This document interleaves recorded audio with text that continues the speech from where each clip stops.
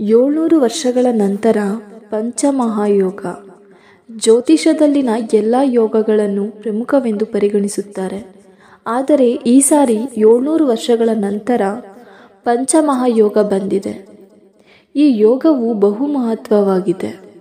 ಇದರಿಂದ ಕೆಲವು ರಾಶಿಗಳಿಗೆ ವಿಶೇಷವಾದ ಲಾಭವಾಗಲಿದೆ.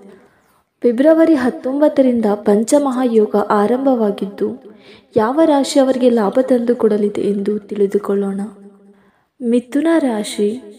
ಪಂಚಮಹಾಯೋಗದಿಂದ ಮಿಥುನ ರಾಶಿಯವರು ಅಂದುಕೊಂಡ ಕೆಲಸದಲ್ಲಿ ಯಶಸ್ಸು ಗಳಿಸುತ್ತಾರೆ. ಕೆಲಸದಲ್ಲಿ ಮೇಲಧಿಕಾರಿಗಳ ಬೆಂಬಲ ಪಡೆಯುತ್ತೀರಿ.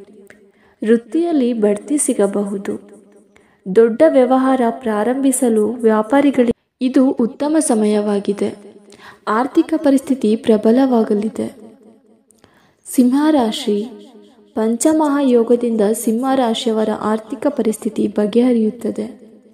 ದಾಂಪತ್ಯ ಜೀವನದಲ್ಲಿ ಸಂತೋಷವಿರುತ್ತದೆ. ವೃತ್ತಿಯಲ್ಲಿ ಯಾವುದೇ ಅಡೆತಡೆಗಳು ಎದುರಾಗುವುದಿಲ್ಲ. ಧನುರಾಶಿ. ಪಂಚಮಹಾಯೋಗದಿಂದ ಧನುರಾಶಿಯ ವಿದ್ಯಾರ್ಥಿಗಳು ಸ್ಪರ್ಧಾತ್ಮಕ ಪರೀಕ್ಷೆಯಲ್ಲಿ ಉತ್ತಮ ಫಲಿತಾಂಶ ಪಡೆಯುತ್ತಾರೆ.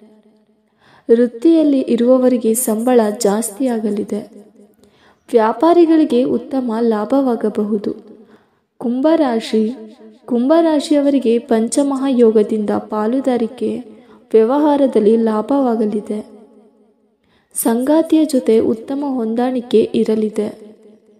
ಹೊಸ ವ್ಯಾಪಾರ ಆರಂಭಿಸಲು ಉತ್ತಮ ಸಮಯವಾಗಿದೆ. ಆರ್ಥಿಕ ಪರಿಸ್ಥಿತಿ ಸುಧಾರಿಸಲಿದೆ.